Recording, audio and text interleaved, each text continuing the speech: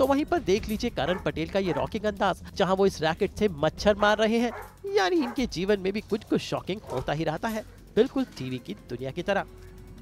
okay okay okay okay, चुप okay, चुप चुप चुप, बस बस बस